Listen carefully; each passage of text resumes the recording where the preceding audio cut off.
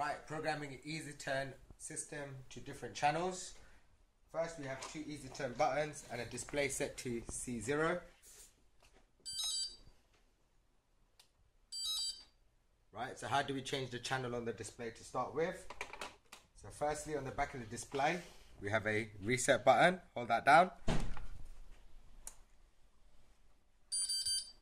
Look for C3 and let go. Now this is channel 3. So none of our buttons should work on this.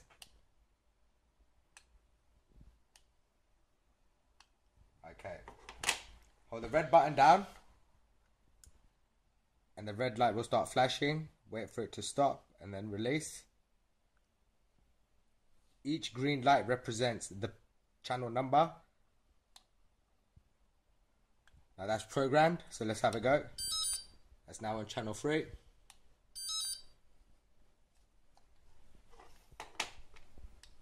This is still set on channel 0. So how do we reset our display back to default?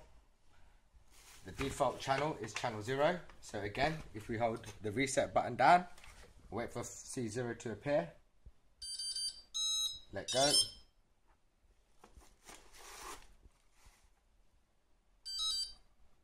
So this button should now work. And the button that we programmed should not work. So how do we reset this back to zero?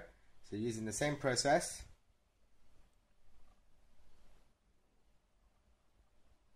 Now we release and just wait for it to count over and it will reset itself.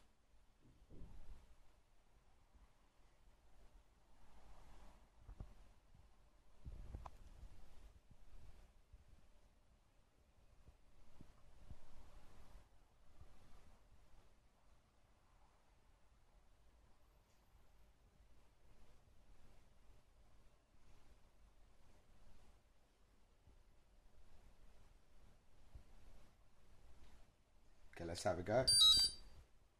That's how you reset your button.